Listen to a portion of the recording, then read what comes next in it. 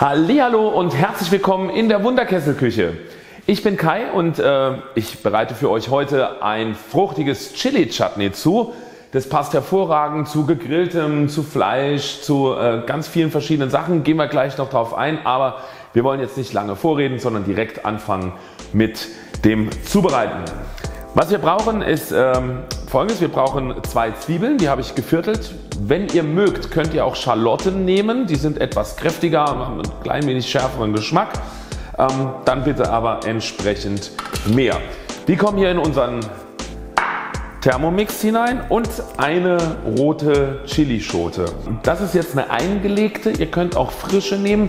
Nehmt auf jeden Fall die Kerne raus, weil sonst wird es wirklich zu scharf und ähm, ihr müsst echt aufpassen, weil ähm, diese Schärfe, die setzt sich an den Fingern fest und wenn du dir da ins Auge reibst oder Nase oder sonst was, das tut verdammt weh. Ich spreche aus Erfahrung.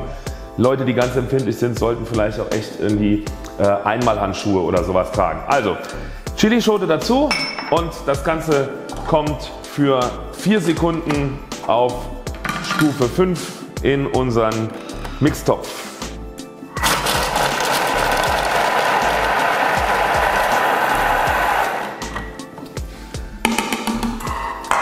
So, das Ganze schön nach unten schieben. Und auch der Chili, der hat sich jetzt schön oben abgesetzt hier. Oh, das riecht aber schon richtig scharf. Jetzt fange ich gleich wieder an zu weinen. Als nächstes 500 Gramm Tomaten. Die haben wir entkernt und äh, in Würfelchen geschnitten. 100 Gramm Rohrzucker und 100 Gramm Rotweinessig. Die wiege ich jetzt direkt aus der Flasche hier ein. Durch diesen Zucker und äh, durch den Essig äh, wird das Chutney auch äh, noch konserviert. Das heißt, das ist so etwa drei, ja, vier Monate ist das durchaus haltbar im Kühlschrank. Wobei ich ehrlich bin, bei der richtigen Grillparty wird das gar nicht so lange halten. Prise Salz dazu und um das Ganze ein bisschen äh, sämig zu binden, nehmen wir noch einen Teelöffel Johannisbrotkernmehl. Ja, das ist äh, glutenfrei und das bekommt ihr auch eigentlich im, im Bioladen oder auch in anderen Fachgeschäften. Deckel drauf.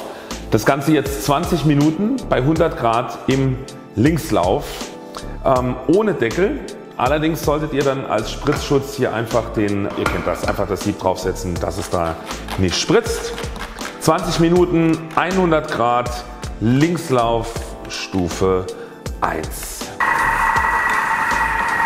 So, und dann warten wir mal, bis das fertig ist und dann geht's weiter.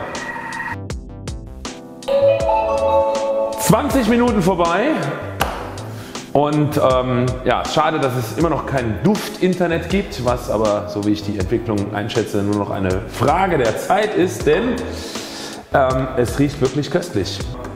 Gerade der Essig und ähm, das Chili, das ergibt wirklich, äh, ja, wow, genial, genial. Was wir jetzt noch machen müssen, ist ähm, etwa einen Teelöffel Senfkörner dazugeben, die dem Ganzen auch nochmal eine Würze verleihen und das nochmal bei ja, 10 Sekunden bei Stufe 3 Linkslauf durchmischen.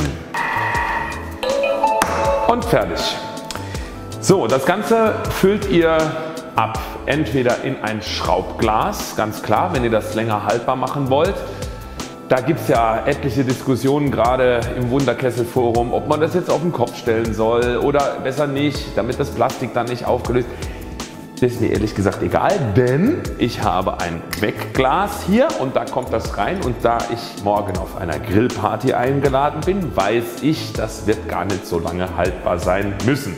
Also, wenn ihr es abfüllt, Schraubgläser ja, bis oben in voll, schön heiß ausspülen und so weiter und so fort, Vakuum ziehen lassen. Macht das, wie ihr das äh, äh, am besten könnt, äh, wie ihr das auch mit Marmelade machen würdet. Und wie gesagt, dann ist es so etwa vier Monate im Kühlschrank haltbar. So, ihr seht, das ist jetzt etwa die Menge, die wir jetzt gerade gekocht haben. Ich ähm, werde auch mal probieren. Es ist jetzt natürlich noch warm, aber das tut dem Ganzen, glaube ich, äh, keinen Abbruch. Hm. Ja, das hat eine ordentliche Schärfe. Also wenn man scharf mag, ist das auf jeden Fall gut. Ja? Äh, für Kinder weiß ich jetzt nicht, ob das geeignet ist, aber äh, ich kann mir sehr gut vorstellen, dass das wirklich auch äh, ja, zu, ne, zu, einem, zu einem wildgebratenen oder sowas auch passen könnte, weil es hat wirklich auch eine sehr fruchtige Note. Das ist ein sehr gutes Chutney.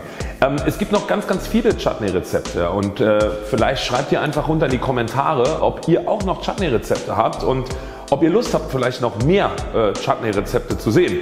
Ja, da äh, Grillsoßen oder sowas immer zum Mitnehmen, vielleicht auch eine ganz äh, nette Sache. Also kommentiert, schreibt mir und ähm, ja, vergesst nicht das Video zu liken und natürlich unseren Kanal zu abonnieren und dann sehen wir uns ganz, ganz bald wieder hier in der Wunderkesselküche. Bis dahin sage ich guten Appetit und tschüss.